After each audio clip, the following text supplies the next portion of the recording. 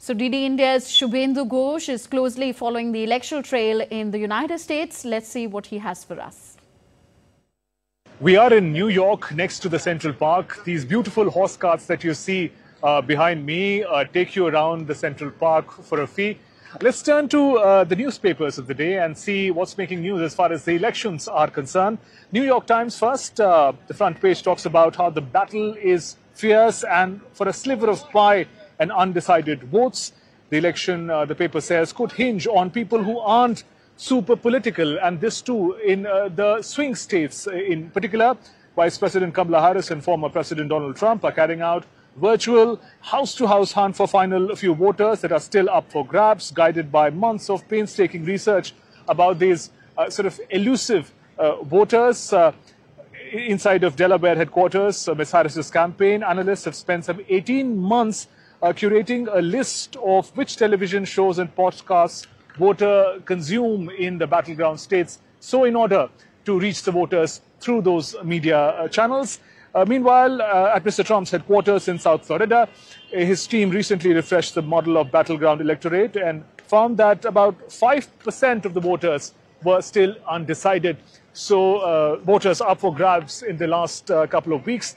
We turn to another article which is titled State of the Race. The contest has tightened to an extent that even pollsters are finding it difficult to keep up. And New York Times says with about a couple of uh, weeks to go, Kamala Harris and Donald Trump are essentially tied with neither candidate ahead by even a single point in New York Times polling average of the five critical battleground states. These are Pennsylvania, Michigan, uh, Nevada, Wisconsin, and North Carolina.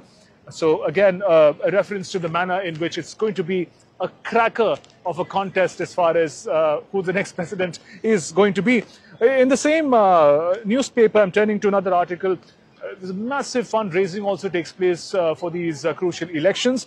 But we see Kamala Harris having a clear edge in this regard. The article headline reads Harris sets a fundraising record, forging a vast gap with Donald Trump. Also gives out data some 378, $378 million. Kamala Harris's campaign and its allied party committee said they raised that, that amount in September alone. Uh, meanwhile, in the same time period, uh, Donald Trump's campaign and allied groups raised 160 million in September.